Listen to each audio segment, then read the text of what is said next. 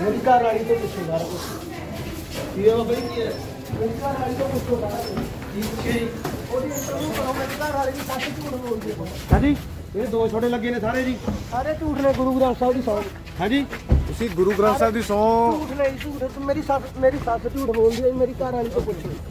ਮੇਰੀ ਘਰ ਵਾਲੀ ਦੀ ਇੰਟਰਵਿਊ ਕਰੋ ਜੀ ਕਿੱਥੇ ਆ ਉਹਨੂੰ ਕੋਈ ਨਹੀਂ ਇਹਨਾਂ ਨੂੰ ਖੇੜੀ ਵਾਲੇ ਬਾਬੇ ਵਜੋਂ ਜਾਣੇ ਜਾਂਦੇ ਗੁਰਵਿੰਦਰ ਸਿੰਘ ਨੂੰ ਫਤਿਹਗੜ੍ਹ ਸਾਹਿਬ ਅਦਾਲਤ ਵਿੱਚ ਪੇਸ਼ ਕੀਤਾ ਗਿਆ ਹੈ, ਜਿਸ ਤੋਂ ਬਾਅਦ ਉਹਨਾਂ ਦਾ ਹਸਪੀਟਲ ਦੇ ਵਿੱਚ ਮੈਡੀਕਲ ਵੀ ਕਰਵਾਇਆ ਗਿਆ। ਹਾਲਾਂਕਿ, ਇੱਕ ਦਿਨ ਦਾ ਪੁਲਿਸ ਰਿਮਾਂਡ ਦਿੱਤਾ ਗਿਆ ਤੇ ਇਸ ਦੌਰਾਨ ਪੁਲਿਸ ਨੂੰ ਨਿਰਦੇਸ਼ ਦਿੱਤੇ ਗਏ ਨੇ ਕਿ ਗੁਰਵਿੰਦਰ ਸਿੰਘ ਦਾ ਪਹਿਲਾਂ ਸਿਹਤ ਸਹੂਲਤਾਂ ਉਹਨਾਂ ਨੂੰ ਦਿੱਤੀਆਂ ਜਾਣ ਅਤੇ ਪੁਲਿਸ ਦੀ ਨਿਗਰਾਨੀ ਦੇ ਵਿੱਚ ਰੱਖਿਆ ਜਾਵੇ। ਦੱਸਦੀਏ ਕਿ ਇਸ ਦੌਰਾਨ ਮੀਡੀਆ ਨਾਲ ਗੱਲਬਾਤ ਕਰਦਿਆਂ ਬਾਬਾ ਗੁਰਵਿੰਦਰ ਸਿੰਘ ਨੇ ਆਪਣੇ ਤੇ ਲੱਗੇ ਸਾਰੇ ਇਲਜ਼ਾਮਾਂ ਨੂੰ ਬੇਬੁਨਿਆਦ ਦੱਸਿਆ ਹੈ। ਦੂਜੇ ਪਾਸੇ ਬਾਬਾ ਗੁਰਵਿੰਦਰ ਸਿੰਘ ਦੇ ਵਕੀਲ ਘੁੰਮਣ ਬ੍ਰਦਰਜ਼ ਦਾ ਕਹਿਣਾ ਹੈ ਕਿ ਉਹਨਾਂ ਨੂੰ ਗਲਤ ਢੰਗ ਦੇ ਨਾਲ ਗ੍ਰਿਫਤਾਰ ਕੀਤਾ ਗਿਆ ਹੈ। 32 ਹਸਪੀਟਲ ਦੇ ਬਾਹਰੋਂ ਉਹਨਾਂ ਨੂੰ ਗ੍ਰਿਫਤਾਰ ਕਰਕੇ ਲੈ ਕੇ ਆਈ ਆ ਪੁਲਿਸ, ਜਦਕਿ ਇਸ ਦੌਰਾਨ ਉਹਨਾਂ ਨੂੰ ਇਲਾਜ ਦੀ ਜ਼ਰੂਰਤ ਹੈ। ਤਾਂ ਦੱਸ ਦਈਏ ਕਿ ਸੈਕਟਰ 32 ਦੇ ਹਸਪੀਟਲ ਦੇ ਬਾਹਰੋਂ ਪੁਲਿਸ ਦੇ ਵੱਲੋਂ ਗ੍ਰਿਫਤਾਰ ਕਰ ਲਿਆ ਗਿਆ ਸੀ ਗੁਰਵਿੰਦਰ ਸਿੰਘ ਨੂੰ। ਉਹਨਾਂ ਦਾ ਆਪਣੇ ਸਹੁਰਿਆਂ ਦੇ ਨਾਲ ਡਿਸਪਿਊਟ ਹੈ ਤੇ ਇਸ ਦੌਰਾਨ ਉਹਨਾਂ ਦੇ ਗੰਭੀਰ ਸੱਟਾਂ ਵੀ ਲੱਗੀਆਂ ਸਨ। ਤੇ ਹੁਣ ਉਹਨਾਂ ਨੂੰ ਇਲਾਜ ਕਰਵਾਇਆ ਜਾ ਰਿਹਾ ਹੈ ਤੇ ਪੁਲਿਸ ਦੀ ਨਿਗਰਾਨੀ ਦੇ ਵਿੱਚ ਰੱਖਿਆ ਗਿਆ ਹੈ। ਇੱਕ ਪਰਚਾ ਜਿਹੜਾ ਸੀ, ਸਾਡੇ ਫਤਿਹਗੜ੍ਹ ਸਾਹਿਬ ਜਿਹੜੀ ਹੈਗੀ ਹੈ ਥਾਣਾ, ਫਤਿਹਗੜ੍ਹ ਸਾਹਿਬ ਉਹਦੇ ਵੱਲੋਂ ਦਿੱਤਾ ਗਿਆ ਸੀ। ਗੁਰਵਿੰਦਰ ਸਿੰਘ ਜਿਹੜੇ ਨੇ, ਬਾਬਾ ਜਿਹੜਾ ਖੇੜੀ ਵਾਲੇ ਕਹਿੰਦੇ ਨੇ ਉਹਨਾਂ ਦੇ ਖਿਲਾਫ ਤੇ ਇੱਕ ਪ੍ਰਦੀਪ ਸਿੰਘ ਨੇ। ਸੋ ਉਹ ਪਰਚਾ ਜਿਹੜਾ ਸੀ, ਉਹ ਧਾਰਾ ਹੁਣ ਜਿਹੜੇ ਨਵੇਂ ਕਾਨੂੰਨ ਆਏ ਨੇ 109 ਥੱਲੇ। ਪੁਰਾਣੇ ਕਾਨੂੰਨ 'ਚ ਸਮਝਾਉਣਾ ਸੌਖਾ ਹੋਊਗਾ ਕਿ 307 ਜਿਹਨੂੰ ਅਸੀਂ ਇਰਾਦਾ ਕਤਲ ਕਹਿੰਦੇ ਆ ਉਹਦੇ 'ਚ ਇੱਕ ਪਰਚਾ ਦਰਜ ਕੀਤਾ ਗਿਆ ਸੀ। ਬੇਸਿਕਲੀ ਡਿਸਪਿਊਟ ਸੀ ਉਹਨਾਂ ਦਾ। ਇੱਥੇ ਉਹ, ਉਹਨਾਂ ਦੇ ਜਿਹੜੇ ਸਹੁਰਾ ਪਰਿਵਾਰ ਏ, ਉਹ ਕਹਿੰਦੇ ਨੇ ਜੀ ਕਿ ਉਹਨਾਂ ਨੇ ਬਾਬਾ ਜੀ ਇੱਥੇ ਆਏ ਨੇ, ਉਹਨਾਂ ਦਾ ਵਰਜ਼ਨ ਆਫ ਜਿਹੜਾ ਉਹਨਾਂ ਦਾ ਕਹਿ ਕੀ ਰਹੇ ਨੇ ਪਰਚੇ 'ਚ, ਕਿ ਬਾਬਾ ਜੀ ਆਏ ਜੀ, ਉਹਨਾਂ ਨੇ ਘਰੇ ਆ ਕੇ 3 ਵਜੇ ਦੇ ਲਗਭਗ ਦਰਵਾਜ਼ਾ ਖੜਕਾਇਆ, ਦਰਵਾਜ਼ਾ ਖੜਕਾ ਕੇ ਆਪਣੀ ਵਾਈਫ ਵੱਲੋਂ ਪੁੱਛਿਆ, ਜਦੋਂ ਘਰੇ ਨਹੀਂ ਪਾਈ ਗਈ ਉਹਦੀ ਵਾਈਫ ਤਾਂ ਅਲਟੀਮੇਟਲੀ ਉਹਨਾਂ ਨੇ ਇਹਨਾਂ ਤੇ ਧਾਵਾ ਬੋਲਤਾ ਤੇ ਜੀ ਗੋਲੀ ਸਿੱਕਾ ਜਿਹੜਾ ਸੀ ਉਹਦੇ ਪੱਟ 'ਚ ਵੱਜਿਆ। ਸੋ ਅੱਜ ਉਹਨਾਂ ਦੇ ਰਿਮਾਂਡ ਲਈ, ਕਿਉਂਕਿ ਉਹ ਉਸ ਦਿਨ ਦੇ ਹਸਪੀਟਲ ਸੀ, ਅੱਜ ਉਹਨਾਂ ਦੇ ਰਿਮਾਂਡ ਲਈ ਇੱਥੇ ਉਹਨਾਂ ਨੇ ਅੱਜ ਪੁਲਿਸ ਨੇ, ਫਤਿਹਗੜ੍ਹ ਸਾਹਿਬ ਪੁਲਿਸ ਡਿਸਟ੍ਰਿਕਟ ਜਿਹੜਾ ਸਾਡਾ ਹੈਗਾ ਵਾ, ਆਪਣਾ ਪੁਲਿਸ ਸਟੇਸ਼ਨ, ਉਹਨਾਂ ਵੱਲੋਂ ਅੱਜ ਇੱਕ ਐਪਲੀਕੇਸ਼ਨ 5 ਦਿਨਾਂ ਦੇ ਰਿਮਾਂਡ ਲਈ ਅੱਜ ਜਿਹੜੀ ਸੀ ਉਹ ਫਾਈਲ ਕੀਤੀ ਗਈ ਸੀ। ਸੋ ਉਹਨੂੰ ਅੱਜ ਅਸੀਂ, ਮੈਂ ਤੇ ਬ੍ਰਦਰ ਤੇ ਸਾਡੇ ਸਾਰੀ ਟੀਮ ਬਾਜਵਾ ਸਾਬਰੀ ਅਸੀਂ ਡਟ ਕੇ ਅੱਜ ਵਿਰੋਧ ਕੀਤਾ, ਲਗਭਗ ਮੈਨੂੰ ਲੱਗਦਾ 2 ਘੰਟੇ ਲੱਗੇ ਨੇ। ਔਰ ਸਾਡਾ ਉਹਦੇ ਵਿੱਚ ਵੱਡਾ ਕਾਰਨ ਕੀ ਸੀ ਕਿ ਦੇਖੋ ਜਦੋਂ ਬਾਬਾ ਜੀ ਤੇ ਉਸ ਦਿਨ ਇਹਨਾਂ ਨੇ ਧਾਵਾ ਬੋਲਿਆ, ਸੀਸੀਟੀਵੀ ਦੱਸ ਰਿਹਾ, ਉਹ ਗੱਡੀ ਕਿਵੇਂ ਲੈ ਕੇ ਆਈਏ, ਔਰ ਬਾਬਾ ਜੀ ਦਾ ਅਸੀਂ ਕੋਰਟ ਦੇ ਵਿੱਚ ਇਹ ਚੀਜ਼ ਕਲੀਅਰ ਕੀਤੀ ਏ ਕਿ ਇੱਕ ਵੀਡੀਓ ਦਿਖਾ ਦਿਓ ਜਿਹਦੇ 'ਚ ਬਾਬਾ ਜੀ ਗੋਲੀ ਚਲਾਉਂਦੇ ਹੋਣ, ਤਾਂ ਅਸੀਂ ਇੱਕ ਵਰਡ ਵੀ ਜਿਹੜਾ ਉਹ ਪ੍ਰੈਸ ਨਹੀਂ ਕਰਾਂਗੇ। ਸੋ ਇਹਦੇ ਤੋਂ ਇਲਾਵਾ ਇਹ ਇੱਕ ਉਹਨਾਂ ਦਾ ਆਪਸੀ ਮੈਟ੍ਰੀਮੋਨੀਅਲ ਡਿਸਪਿਊਟ ਹੈ ਇਹ ਕੋਈ ਲੈਂਡ ਦਾ ਡਿਸਪਿਊਟ ਨਹੀਂ, ਕੋਈ ਗੈਂਗਸਟਰ ਨਹੀਂ ਤੇ ਬਾਬਾ ਜੀ ਜਿਹੜੇ ਨੇ, ਗੁਰਵਿੰਦਰ ਹਰੀ, ਖੇੜੀ ਵਾਲੇ, ਇਹ ਲਗਭਗ ਪਿਛਲੇ ਲੰਮੇ ਅਸ- ਅਰਸੇ ਤੋਂ ਟਰਸਟ ਬਣਿਆ ਹੋਇਆ ਹੈ। ਉਹ ਟਰਸਟ ਦੇ ਹਿਸਾਬ ਨਾਲ ਲੋਕਾਂ ਦੀਆਂ ਸੇਵਾ ਵੀ ਕਰ ਰਹੇ ਨੇ ਕੋਈ ਕ੍ਰਿਮੀਨਲ ਨਹੀਂ ਹੈਗਾ। ਸੋ ਇਸ ਪਰਚੇ ਤੋਂ ਇਲਾਵਾ ਇਹਦੇ ਤੇ ਕੋਈ ਪਰਚਾ ਨਹੀਂ। ਔਰ ਇੱਕ ਵੱਡੀ ਗੱਲ ਅੱਜ ਕੋਰਟ 'ਚ ਕੀ ਦਸੀਏ ਕਿ ਜਿਹੜਾ ਇਹ ਕਹਿੰਦੇ ਜੀ ਇਰਾਦਾ ਕਤਲ ਲੈ ਕੇ ਆਇਆ ਸੀ, ਨਹੀਂ, ਇਹ ਆਪਣੀ ਘਰ ਵਾਲੀ ਨੂੰ ਸਿਰਫ ਸੁਲਾ ਕਰਕੇ ਲੈ ਕੇ ਜਾਣ ਲਈ ਆਏ ਸੀ।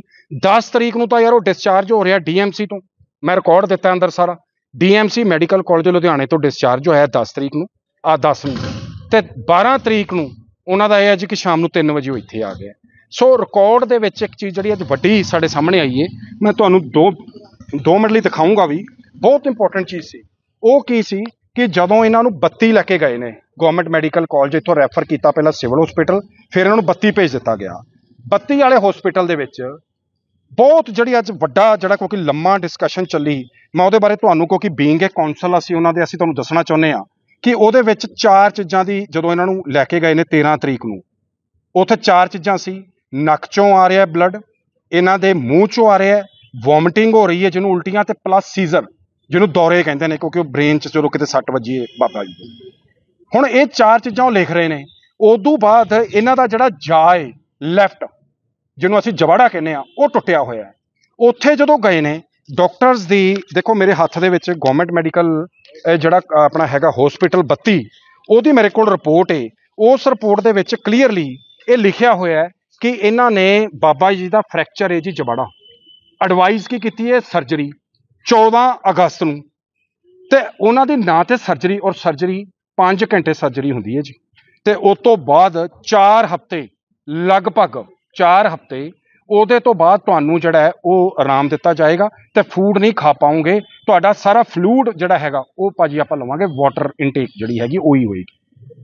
ਹੁਣ ਉਹ ਚੀਜ਼ ਰਿਕਾਰਡ ਬੋਲ ਰਿਹਾ ਕਿ 14 ਤਰੀਕ ਨੂੰ ਡਾਕਟਰ ਐਡਵਾਈਸ ਕਰ ਰਿਹਾ ਸਰਜਰੀ ਜਬਾੜੇ ਦੀ, ਕਿਉਂਕਿ ਜਬਾੜਾ ਆਪਣੇ ਆਪ ਤਾਂ ਜੁੜ ਨਹੀਂ ਜਾਣਾ। ਫ੍ਰੈਕਚਰ ਹੋਇਆ ਹੋਇਆ ਸੋ ਉਸ ਚੀਜ਼ ਦੇ ਮੱਦੇਨਜ਼ਰ ਰੱਖਦੇ ਹੋਏ ਅਸੀਂ ਜੱਜ ਸਾਹਿਬ ਨੂੰ ਇਹ ਕਿਹਾ ਕਿ ਪੁਲਿਸ ਜਿਹੜੀ ਸਾਡੀ ਹੈ ਅੱਜ ਜਿਹੜੀ ਕੱਲ ਜਾ ਕੇ 15 ਅਗਸਤ ਨੂੰ ਜਾ ਕੇ ਉਹਨਾਂ ਦੀ ਅਰੈਸਟ ਪਾ ਆਈ। ਇਹ ਕੀ ਐਡੀ ਕਾਲੀ ਸੀ ਕਿ ਤੁਸੀਂ 15 ਤਰੀਕ ਨੂੰ ਅਰੈਸਟ ਪਾਏ ਹੋ? ਥੋੜਾ ਜਿਹਾ ਸਮਾਂ ਦਿਓ, ਪਹਿਲਾਂ ਕੀ ਹੁੰਦਾ ਇੱਕ ਹਿਊਮੈਨਿਟੇਰੀਅਨ ਗਰਾਊਂਡਸ ਹੁੰਦੀਆਂ ਨੇ, ਇਨਸਾਨੀਅਤ ਦੇ ਤੌਰ ਤੇ। ਕੀ ਹੈ ਕਿ ਪਹਿਲਾਂ ਬੰਦੇ ਨੂੰ ਤੁਸੀਂ ਐਡਮਿਟ ਕਰਾਓ, ਉਹਦਾ ਇਲਾਜ ਕਰਾਓ, ਉਹਦੀ ਸਰਜਰੀ ਕਰਾਓ, ਉਸ ਤੋਂ ਬਾਅਦ ਪਰਚਾ ਖੜਿਆ ਤੁਸੀਂ ਉਹਦੀ ਬੰਦੀ ਪਾ ਲਓ। ਪਰ ਇੱਥੇ ਆ ਕੇ ਇਹ ਕਾਲੀ ਕੀਤੀ ਗਈ ਕੱਲ ਉਹਨਾਂ ਦੀ ਨਾ ਸਰਜਰੀ ਕਰਾਈ ਸਰ ਉਹਨਾਂ ਨੇ ਦੱਸਿਆ ਕਿ ਇੱਕ ਆਪਣੀ ਦਾੜ ਦਰਦ ਹੁੰਦੀ ਹੋਵੇ ਨਾ, ਤਾਂ ਆਪਣਾ ਹਾਲ ਕੀ ਹੁੰਦਾ, ਉਹਦਾ ਜਬਾੜਾ ਟੁੱਟਿਆ ਹੈ ਤੇ ਅਸੀਂ ਇੱਥੇ ਅੰਦਰ ਪੁਆਇੰਟ ਸੇ ਲਏ ਨੇ ਕਿ ਕੱਲ ਨੂੰ ਜੇਕਰ ਕੁਝ ਪੀਕ ਪੈ ਗਈ ਕੱਲ ਨੂੰ ਉਹ ਕੋਈ ਕੈਂਸਰਸ ਰੂਪ ਧਾਰਨ ਕਰ ਗਈ, ਉਹਦਾ ਜ਼ਿੰਮੇਵਾਰ ਕੌਣ ਹੋਏਗਾ ਜੇ ਟੈਂਡਰ ਕਰ ਦੇਣ? ਸਾਡੀ ਪੰਜਾਬ ਪੁਲਿਸ ਜਾਂ ਸਟੇਟ ਕਹਿ ਦੇਵੇ ਜੀ, ਸਾਡੀ ਜ਼ਿੰਮੇਵਾਰੀ ਹੈ। ਜਾਂ ਉਹਨਾਂ ਨਾਲ, ਕਿਉਂਕਿ ਉਹਦੇ ਵਿੱਚ ਇਹ ਵੀ ਲਿਖਿਆ ਹੈ ਕਿ ਉਹਨਾਂ ਨੂੰ ਬਰੀਥਿੰਗ ਕਿਉਂਕਿ ਜਵਾੜੇ ਦੇ ਟੁੱਟਣ ਕਰਕੇ ਸੋਜਸ਼ ਇਸ ਲੈਵਲ ਤੇ ਹੈ ਕਿ ਸਾਹ ਲੈਣ 'ਚ ਵੀ ਪ੍ਰੋਬਲਮ ਹੈ। ਸੋ ਅੱਜ ਅਸੀਂ ਇਹਨਾਂ ਨੂੰ ਕੀ ਕਿਹਾ ਕਿ ਅੱਜ ਜ਼ਰੂਰਤ ਇਸ ਗੱਲ ਦੀ ਹੈ ਕਿ ਉਹਨਾਂ ਨੂੰ ਆਪਾਂ 32 ਵਾਲੇ ਹਸਪੀਟਲ 'ਚ ਜਾਂ ਸਿਵਲ ਹਸਪੀਟਲ 'ਚ ਦੁਬਾਰਾ ਐਡਮਿਟ ਕਰਾਈਏ। ਉਹਨਾਂ ਦਾ ਪਹਿਲਾਂ ਪਹਿਲਾਂ ਇਲਾਜ ਹੋਵੇ, ਫਿਰ ਉਸ ਤੋਂ ਬਾਅਦ ਰਿਮਾਂਡ ਤੇ ਆਪਾਂ ਆਈਏ। ਸੋ ਇਹਨਾਂ ਨੇ 5 ਦਿਨ ਦਾ ਰਿਮਾਂਡ ਮੰਗਿਆ ਸੀ। ਲਗਭਗ ਮੈਨੂੰ ਲੱਗਦਾ ਘੰਟਾ, ਡੇਢ ਘੰਟਾ ਸਾਡੀ ਜ਼ਰਾ ਜਿਹੜੀ ਹੈ, ਦੋਨਾਂ ਤਰ੍ਹਾਂ ਦੀ ਆਪਸ 'ਚ ਚੱਲੀ ਹੈ। ਤੇ ਹੁਣ ਲਾਸਟ 'ਚ ਆ ਕੇ ਜੱਜ ਸਾਹਿਬ ਨੇ ਅੱਜ ਬਹੁਤ ਮੈਂ ਕਹਾਂਗਾ ਕਿ ਮਾਨਜੋ ਕੋਰਟਸ ਦੇ ਉੱਪਰ ਸਾਨੂੰ ਬਹੁਤ ਫੇਥ ਹੈ ਸਾਰਿਆਂ ਨੂੰ। ਸੋ ਇੱਕ ਲੰਬੀ ਜਿਹੜੀ ਹੈਗੀ ਹੈ ਉਹਦੇ ਤੇ ਆਰਗੂਮੈਂਟਸ ਤੋਂ ਬਾਅਦ, ਅੱਜ ਮਾਨਜੋ ਕੋਰਟ ਨੇ, ਉਹਦੇ ਤੇ ਉਹਨਾਂ ਨੂੰ ਹੁਣੇ ਸਿਵਲ ਹਸਪੀਟਲ ਜਿਹੜਾ ਹੈਗਾ ਮੈਡੀਕਲ ਆਫੀਸਰਸ ਦੇ ਕੋਲ ਹਜੇ ਸਾਡੇ ਕੋਲ ਆਰਡਰ ਅਸੀਂ ਅਪਲਾਈ ਕਰਤਾ ਕਿਉਂਕਿ 6 ਵਜ ਗਏ ਸੀ ਕਾਪੀ ਸਵੇਰੇ ਮਿਲੇਗੀ। ਬਟ ਉਹਨਾਂ ਨੇ ਸਾਨੂੰ ਦੱਸਿਆ ਕਿ ਮੈਂ ਇਹਦੇ ਤੇ ਮੈਡੀਕਲ ਆਫੀਸਰਸ ਨੂੰ ਕੰਪਲੀਟ ਇਹਦਾ ਐਗਜ਼ਾਮੀਨੇਸ਼ਨ ਕਰਨਗੇ ਔਰ ਪਿਛਲਾ ਰਿਕਾਰਡ ਦੇਖਿਆ ਜਾਏਗਾ। ਫਿਰ ਉਸ ਤੋਂ ਬਾਅਦ ਰਹੇਗਾ ਉਹ ਪੁਲਿਸ ਕਸਟਡੀ 'ਚ। ਫਿਰ ਉਸ ਤੋਂ ਬਾਅਦ ਜਿਹੜਾ ਹੈਗਾ ਕਿ ਉਹਦਾ ਜਿਹੜਾ ਰਿਮਾਂਡ ਹੈ ਉਹਦੇ ਬਾਰੇ ਅੱਗੇ ਜਿਹੜਾ ਹੈਗਾ, ਉਹ ਫੈਸਲਾ ਜਿਹੜਾ ਉਹ ਕੀਤਾ ਜਾਏਗਾ। ਸੋ ਇਹ ਬਹੁਤ ਅੱਜ ਇੰਪੋਰਟੈਂਟ ਸੀ। ਬਾਕੀ ਆਰਡਰ ਕਲੈਰੀਫਾਈ ਕਰਨਗੇ।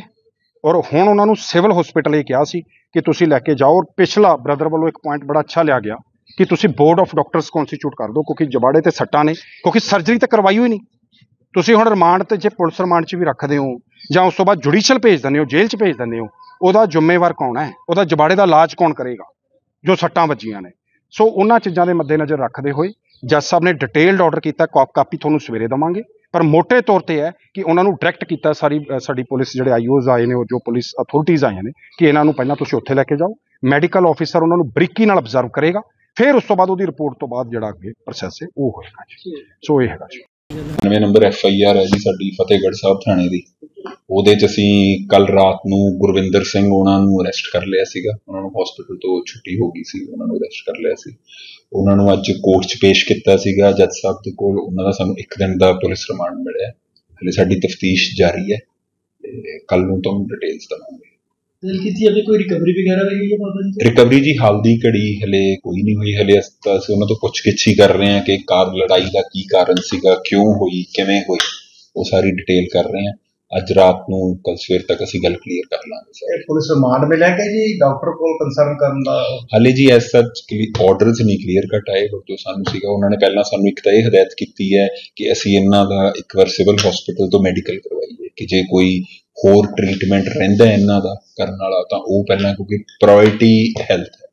ਤੇ ਪ੍ਰਾਇੋਰਟੀ ਇਹਨਾਂ ਦੀ ਹੈ ਕਿ ਪਹਿਲਾਂ ਅਸੀਂ ਹੁਣ ਤਾਂ ਹੀ ਉਹ ਸਿਵਲ ਹਸਪੀਟਲ ਉਹਨਾਂ ਨੂੰ ਭੇਜਿਆ ਡਾਕਟਰ ਇੱਕ ਵਾਰ ਫੇਰ ਐਗਜ਼ਾਮਿਨ ਕਰਨਗੇ ਕੋਈ ਅਰਜੈਂਟ ਟ੍ਰੀਟਮੈਂਟ ਦੀ ਜਾਂ ਕਿਸੇ ਚੀਜ਼ ਦੀ ਲੋੜ ਹੈ ਪਹਿਲਾਂ ਉਹ ਦੇਖਾਂਗੇ ਉਸ ਤੋਂ ਬਾਅਦ ਅਸੀਂ ਆਪਣੀ ਇਨਵੈਸਟੀਗੇਸ਼ਨ ਤੇ ਪਹਿਲਾਂ ਮੁਲਾਜ਼ਾ ਕਰਾਇਆ ਨਹੀਂ ਗਿਆ ਜੀ ਨੇ ਪਹਿਲਾਂ ਕਰਾਇਆ ਸੀ ਕਰਾਇਆ ਸੀ। ਅਸੀਂ ਕੱਲ ਰਾਤ ਵੀ ਕਰਾਇਆ ਸੀ ਉੱਥੋਂ ਵੀ ਹੋ ਕੇ ਆਇਆ ਸੀ ਮੁਲਾਜ਼ਾ ਤੇ ਉਹਨਾਂ ਨੇ ਅੱਜ ਉੱਥੇ ਰਿਕੁਐਸਟ ਪਾਈ ਸੀ ਕਿ ਮੈਂ ਮਤਲਬ ਇੱਕ ਵਾਰ ਮੇਰਾ ਹਲੇ ਕੋਈ ਟ੍ਰੀਟਮੈਂਟ ਰਹਿ ਗਿਆ ਸੀ ਮੈਂ ਉਹ ਟ੍ਰੀਟਮੈਂਟ ਕਰਵਾਉਣਾ। ਹਲੇ ਰਹਿ ਗਿਆ ਸੀ। ਉਹ ਤਾਂ ਹੀ ਉਹ ਡਾਕਟਰ ਜੱਜ ਸਾਹਿਬ ਨੇ ਕਿਹਾ ਕਿ ਇੱਕ ਵਾਰ ਜਿਹੜੀਆਂ ਸੱਟਾਂ ਹੈਗੀਆਂ ਉਹ ਫੇਰ ਐਗਜ਼ਾਮਿਨ ਕਰ ਲੈਣ।